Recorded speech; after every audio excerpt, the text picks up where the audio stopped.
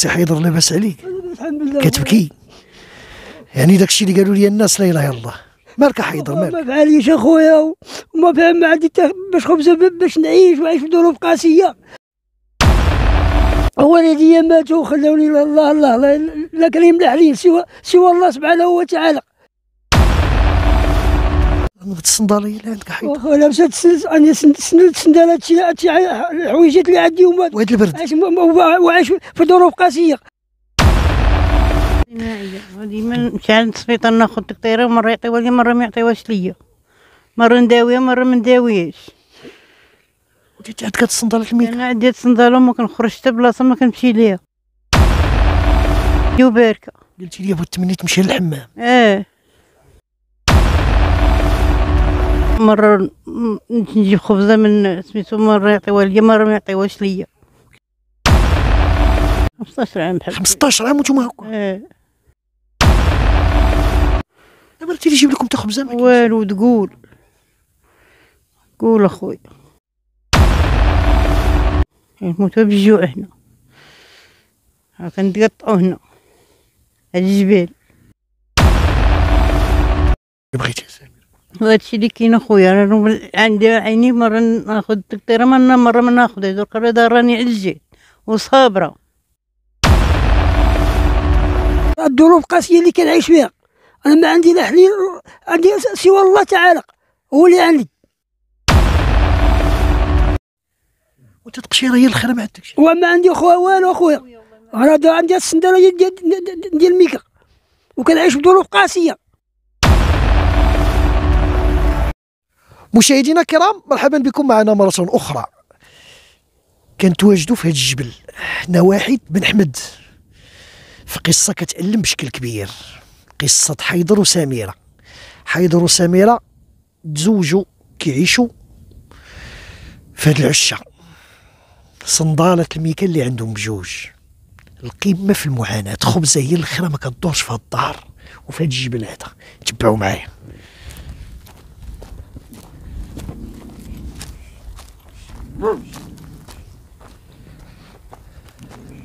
السلام عليكم سي حيدر لاباس عليك الحمد لله كتبكي يعني داكشي اللي قالوا لي الناس لا اله الا الله مالك حيدر مالك ما فعليش اخويا وما فهم ما عندي تا- باش خبزه باش نعيش وعيش في ظروف قاسيه والدي ماتوا وخلوني الله الله لا, لا كريم لا حليل سوى سوى الله سبحانه وتعالى الصنداليه اللي عندك سند أنا سند سند سندالات شي شي الحويجات اللي عندي وهاد البرد. عايش وعايش في ظروف قاسية.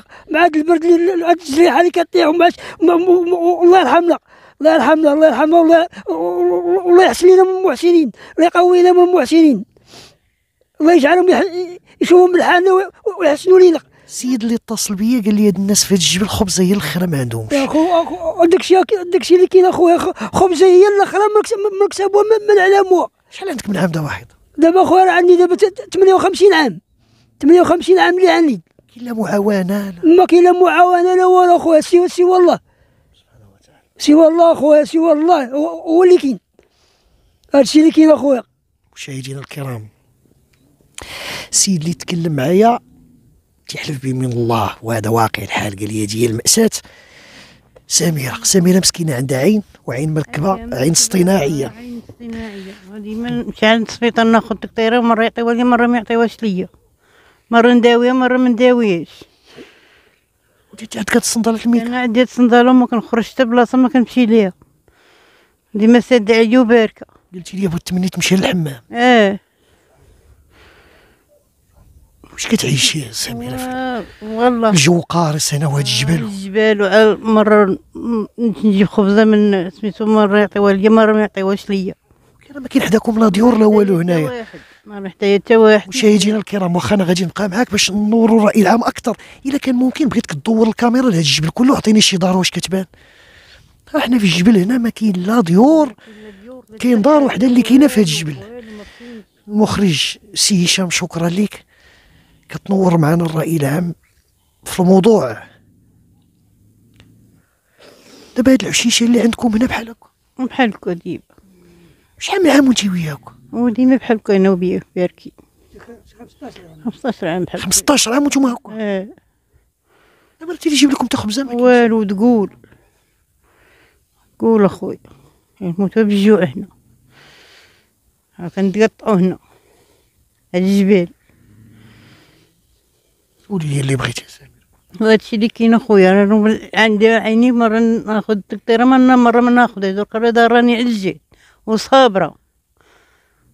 أنا الاخرى مركبه اصطناعيه الصناعية. مرة هادي كنت ما كنشوف شوية ودي كنشوف بها شوية. دايرة على الجلالة مركبة على الجلالة دايرة العيني. ما لا حوايج لا والو البز البرد هنايا. تقول قاسية مشاهدينا الكرام أنا غنتوسع ما أمكن في الموضوع. دورنا ونوصل الصوت ديال هاد الناس. تيعيشوا في هاد الجبل وهنا كاين هاد الجبال؟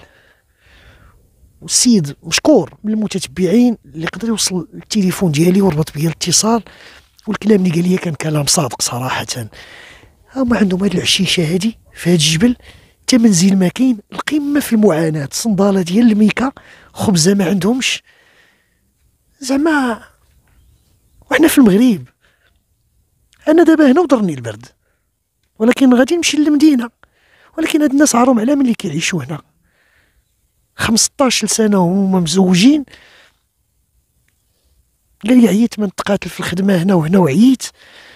وصل ل 60 سنة. وتيبان بحال عنده 80 سنة. صندالة ديال الميكا في هاد البرد. سيدة عندها غير عين خبزه هي الاخرى ما كدورش. لا ضو لا ما عندهم هاد الحويط هذا جالسين فيه. ما شاء الله. مشاهدينا الكرام شرح الواضحات من المفضحات. غادي نشوف الكلمة الأخيرة مع حيدر. حيدر قول لي اللي بغيتي.